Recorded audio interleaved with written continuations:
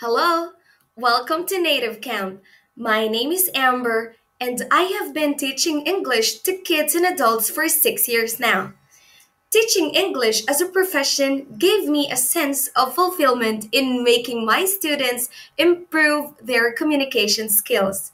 During my spare time, I like traveling, meeting new people, discovering new places, and trying out different cuisines.